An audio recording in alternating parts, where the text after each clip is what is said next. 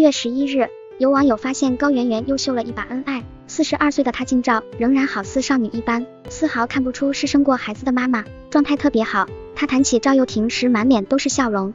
高圆圆表示，产后复出接戏的时候，做了很久的心理建设，会有很多顾虑。最难的部分就是她从家庭里逃离出来，不想错过孩子的成长，也很怕拍戏的时候会分心。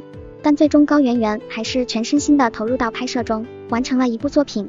高圆圆在新剧中的角色是一个女强人，老公负责很多家务事。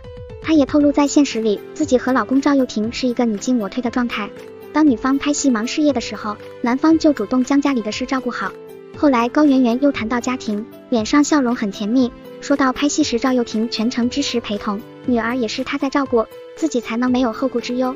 当时赵又廷在剧组里给了高圆圆很多鼓励，随叫随到，两人也会简单对戏，相处模式特别甜蜜。高圆圆回忆起这段经历，感到特别幸运，她也特别感谢老公能如此无微不至的照顾她和孩子，还能支持自己的事业，可见两人结婚多年还是像初恋时那样甜蜜，的确是很让人羡慕了。高圆圆生完女儿之后，也在兼顾家庭和事业，事业发展蒸蒸日上。赵又廷近年来拍戏较少。但演技也没有倒退，夫妻俩都变得更加优秀了。高圆圆不仅颜值气质出众，而且还拥有这么幸福的家庭，可谓是人生赢家。